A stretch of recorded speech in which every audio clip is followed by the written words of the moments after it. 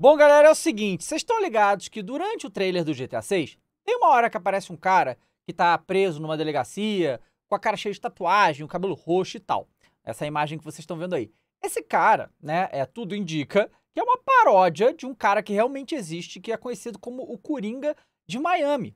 E aí ele fez um vídeo olhando, falando e tal, falou assim: "Ah, é GTA temos que conversar". E depois ele fez mais um falando e exigindo que a Rockstar dê de 1 a 2 milhões de dólares para ele. Bom, olha só, é, eu vou dizer pro nosso querido amigo aí, é que se ele realmente for atrás disso, não vai ser o primeiro nem o último.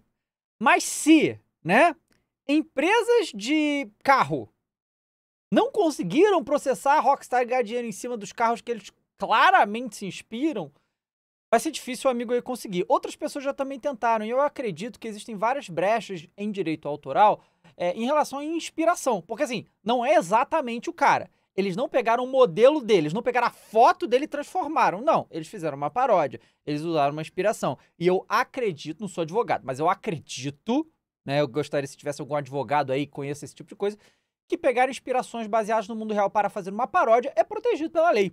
Então eu não acho que ele vai conseguir muita coisa com isso. Mas obviamente. Por que não tentar, né? O problema é que se for pra justiça, vai gastar um dinheiro com advogado aí. E olha só que os advogados da Take-Two são brabo, hein?